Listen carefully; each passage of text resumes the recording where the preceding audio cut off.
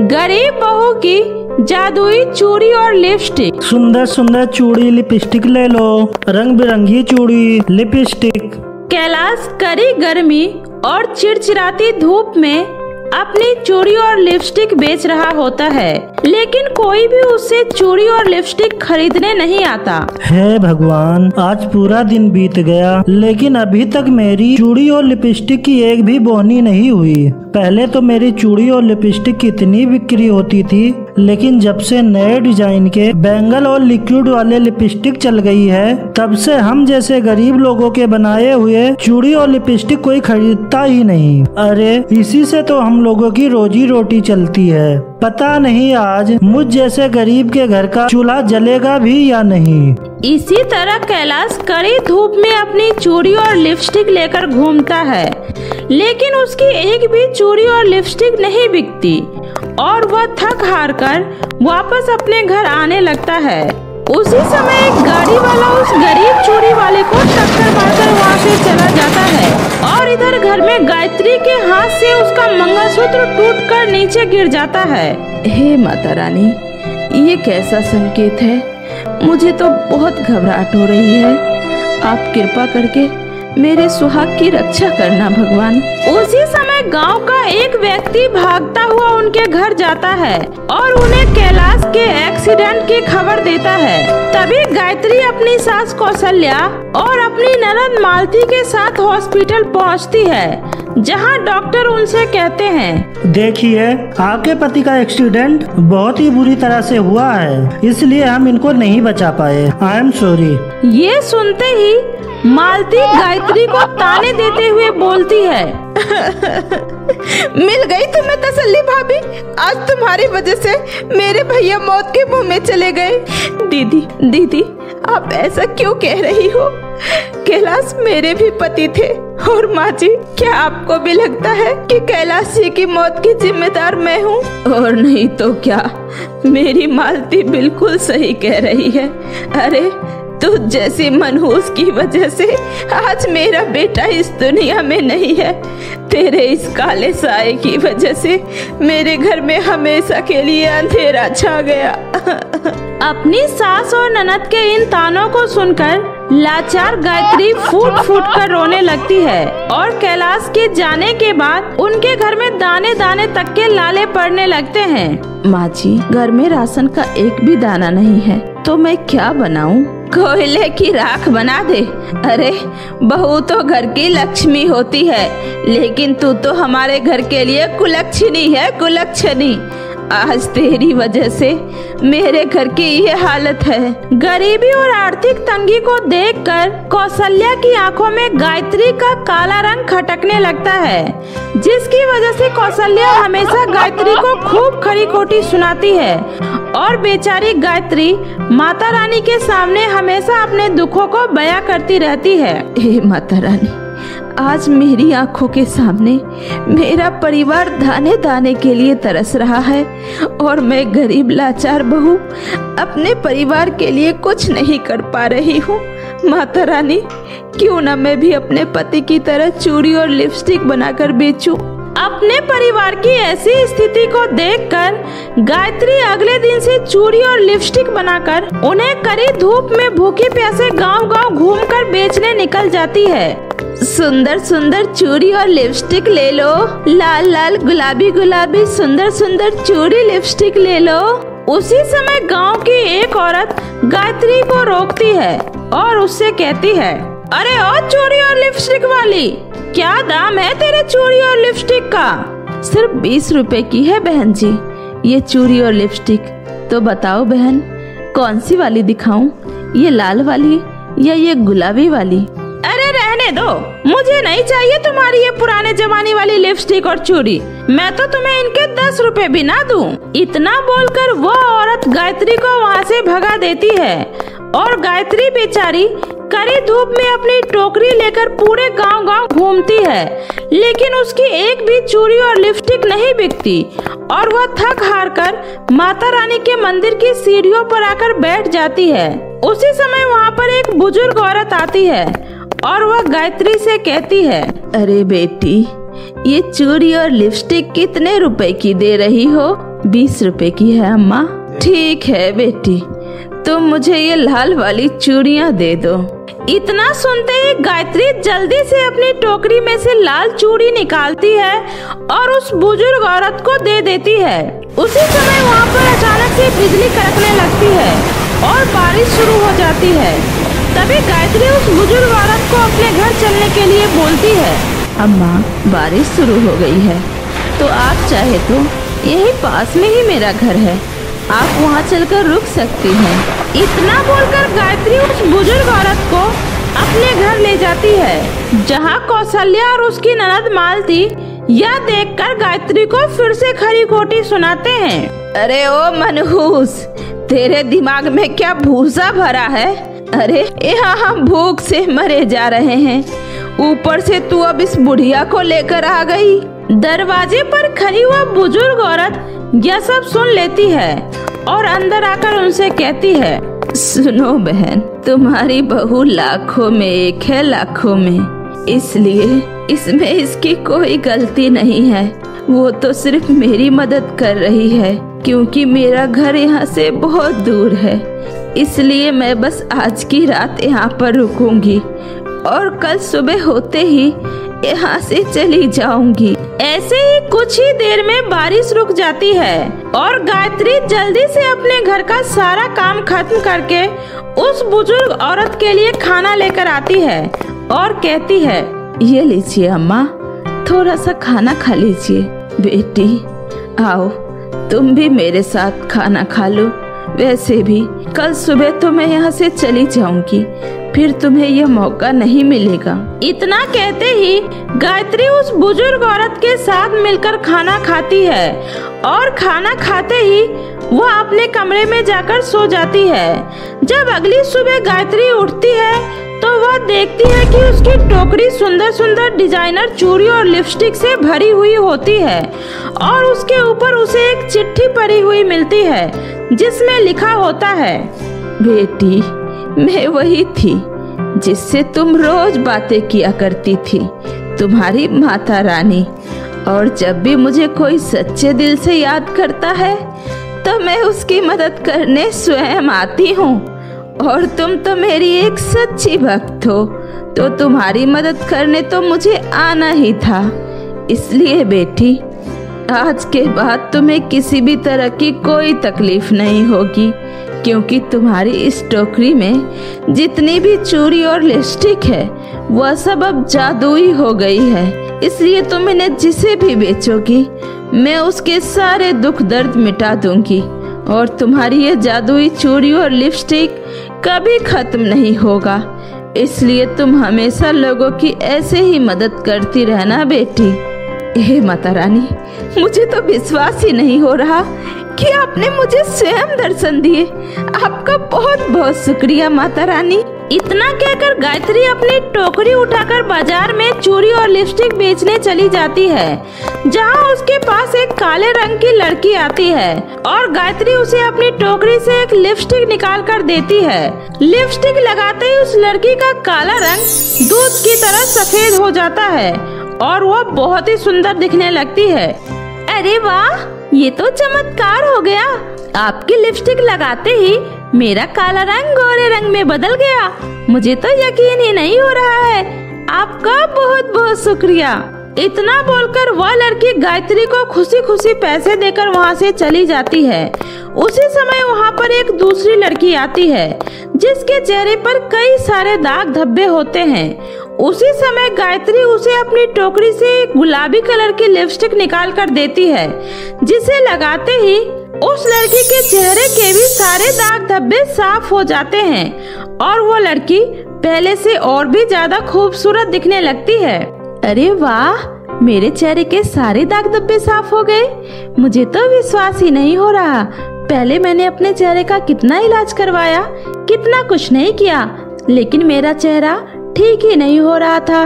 लेकिन आज आपकी ये लिपस्टिक लगाते ही मेरा चेहरा बिल्कुल ठीक हो गया। आपका बहुत बहुत शुक्रिया। ये लीजिए आपके पैसे।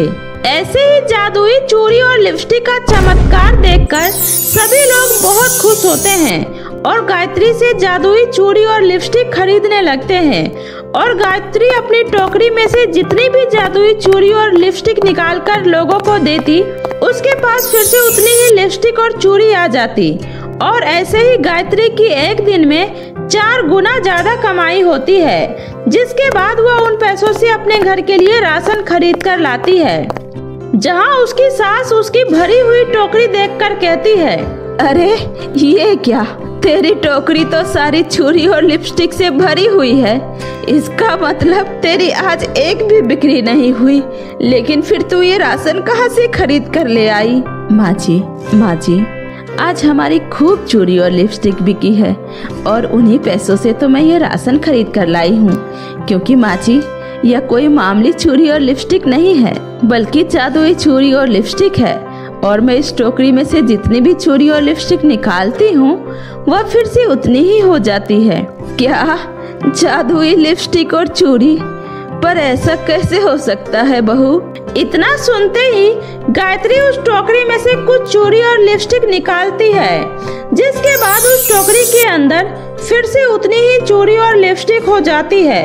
यह चमत्कार देखकर उसकी सास कौशल्या और ननद मालती हैरान हो जाती है और कहती है, अरे वाह बहू, ये तो सच में एक चमत्कार ही है। हाँ माँ, मुझे तो अपनी आँखों पर विश्वास ही नहीं हो रहा कि सच में ये जादुई चूड़ी और लिपस्टिक है। यह सब देखकर कौशल्या और मालती बहुत ही खुश हो जाती है और उनके मन से अपनी बहू गायत्री के लिए करवाहट दूर हो जाती है। और इसी तरह से गायत्री उन जादुई चूड़ी और लिपस्टिक को बेचकर अपने लिए सुंदर सा घर बनवा लेती है और अपनी सास और नंद के साथ खुशी खुशी उस घर में रहने लगती है। लेकिन वह फिर भी लोगों को चूड़ी और लिपस्टिक बेचना बंद नहीं करती।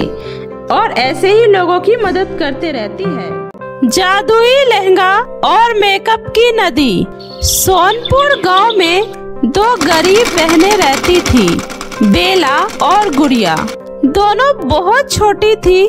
जब एक रात उसके पिता काम करके घर लौट रहे थे, तभी बारिश में एक बिजली की तार उनके ऊपर गिर गई और वही मौके पर ही उनकी मौत हो गई। उसके बाद उसकी माँ निर्मला ने किसी तरह से अपने आप को संभाला और खुद भूखे रहकर घर चलाने के लिए दिन रात सिलाई का काम करने लगी।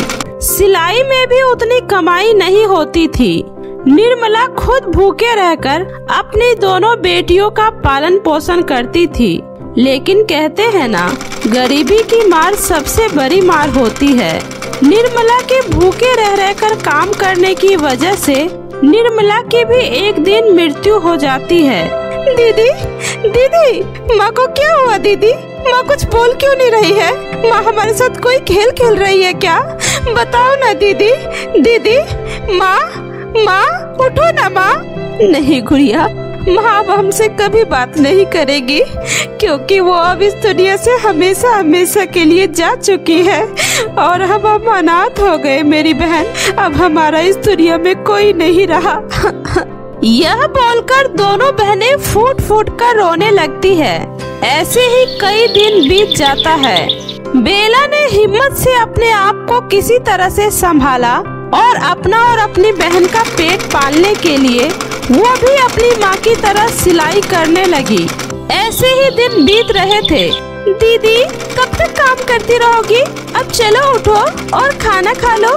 देखो, बहुत रात हो गई है। अब बाकी के काम कल कर लेना। नहीं गुड़िया, तू खाना खाकर सो जा। मुझे तो अभी एक और सूट सिलना बाकी है। अगर सिलाई नहीं करूँगी, फिर हमारा पेट कैसे भरेगा? खाने के लिए मेहनत तो करनी होगी ना, छोटी? ठीक है, दीदी। फिर मैं भी आपके साथ कपड़े सिलने में आपकी मदद करती हूँ। और फिर इस तरह से दोनों बहन मिलजुल कर काम करने लगती है। ऐसे ही समय बीतता रहा। दोनों बहनें अब बड़ी हो गई थी। अरे, ओ बेला! बेला! अंदर आ जाओ, काकी।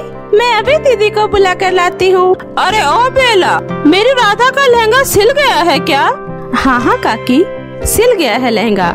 आखिर मैं भला अपनी सहेली राधा की शादी कैसे भूल सकती हूँ? ये लो काकी, ये रहा लहंगा। अच्छा ठीक है ठीक है। सुनो, राधा ने तुम दोनों को भी शादी में बुलाया है। आ जाना। ठीक है, काकी। हम दोनों बहनें बारात आने से पहले ही पहुँच जाएँगे। वो सब तो ठीक है, लेकिन थोड़ा दोनों बहनें ढंग के कपड़े पहन कर आना। एक तो काली सी शकल है ऊपर से ये फटा पुराना कपड़ा। अरे बेटी, मैं तेरे भले के लिए ही बोल रही हूँ। हो सकता है, इसी बहाने शादी में आए किसी लड़के वाले को तुम दोनों बहनों में से कोई एक पसंद आ जाओ। वरना इस गरीबी और रंग रूप के साथ तुम दोनों बहनों का तो ब्याह होने से रहा। एक तो दोनों अनाथ हो, ऊपर से ये काले रंग रूप। मुझे तो तुम दोनों बहनों पर बहुत ही तरस आता है, पर क्या करूँ? अच्छा बेटी अब चलती हूँ। मुझे घर पर बहुत काम है। काकी के कड़वी बातें सुनकर बेला के आँखों में आँसू आ जाता है। अरे मेरी प्यारी दीदी काकी की बातों पर ध्यान मत दो। उनका तो काम ही है बोलना। अब उनकी बातों को दिल से मत लगाओ। देखना बहुत ही जल्दी आपको आपके ख्वाबों का शहजादा मिल जाएगा। और ये रंग रूप कुछ नहीं होता। इंसान दिल से अच्छा होना चाहिए। शादी वाले दिन दोनों बहनें अपने साफ़ सुथरे कपड़े पहनकर बारात आने से पहले वहाँ पहुँच जाती है। तभी उसे देखकर राधा की दादी बोलती है, हाय दैया ये कैसा बेरंग सा सूट पहना है तुम दोनों बहनों ने? अपनी खास सहेली की शादी में इतना फीका और बेरंग सूट? छी छी छी छी। अरे, हमारे घर शादी है, कोई मातम नहीं। जो ये पुराना सा मटमैला सूट पहनकर आ गई हो। क्यों रे करम जलियो तुम अनाथ बहने अपनी गरीबी और काली सी शकल लेकर मुँह उठाकर इस शादी में उठकर आ गई। तुम्हें देखकर लड़के वाले आखिर क्या सोचेंगे? मेरी बेटी की शादी होने से पहले ही उसका घर बिगाड़ना चाह रही हो। खुद तो तुम दोनों बहनों को कोई लड़का पूछ नहीं रहा। आ गई मुँह उठाकर दूसरों का घर बिगाड़ने के लिए। हाँ बहन जरा समझाओ इन गरीब और अनाथ बहनों को। मुझे तो इन्हें देखकर इन पर बहुत ही तरस आता है। मैंने तो लाख दफ़ा समझाया है। अरे, मेरे बेटे दीनानाथ से ब्याह कर ले। माना कि तो बच्चों का बाप है, लेकिन पहली बीवी तो मर चुकी है ना? अब इन गरीब बहनों को तो सपनों का राजकुमार मिलने से रहा।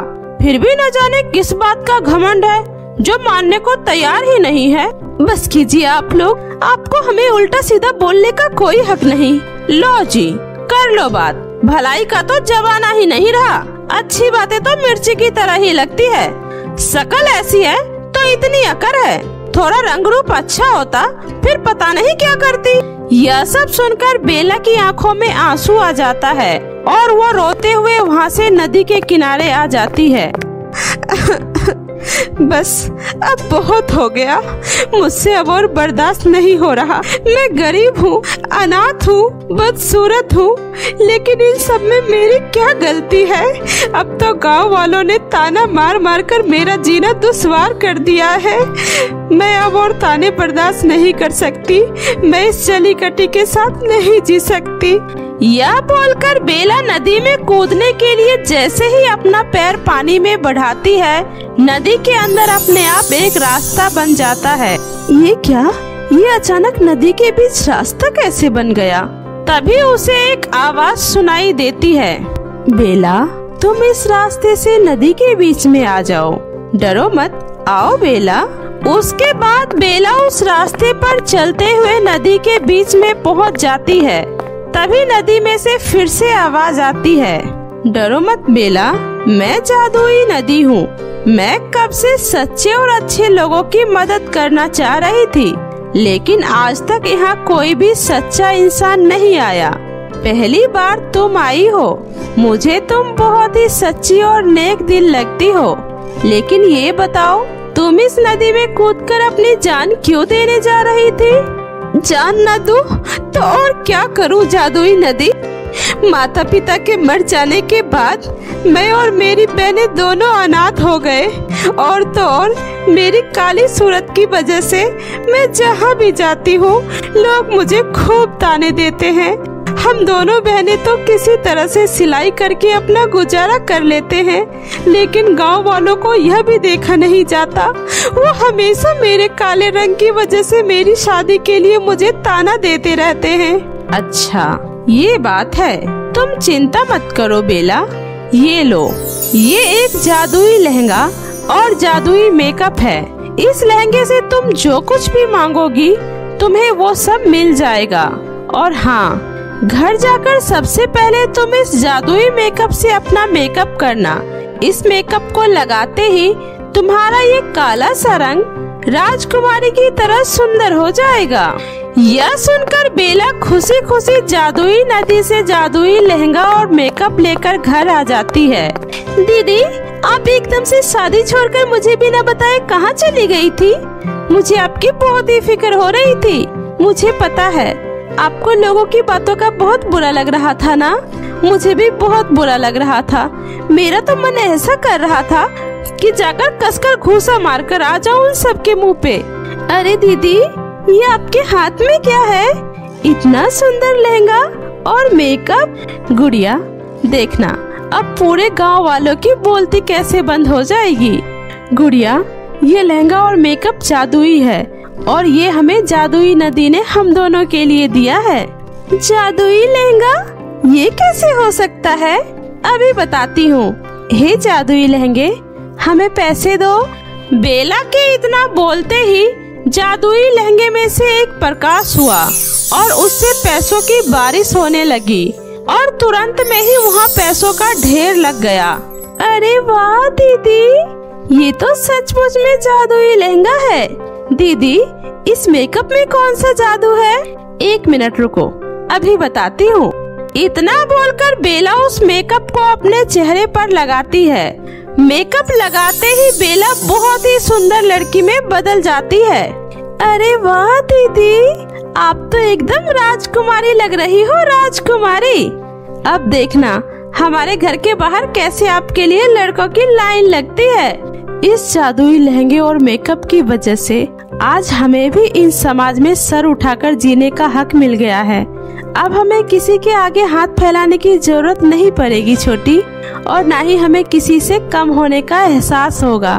उसके बाद दोनों बहनें उस जादुई लहंगे की मदद से अपने लिए एक अच्छा सा घर मांगती है, और फिर ज़रूरत का सारा सामान भी मांगती है।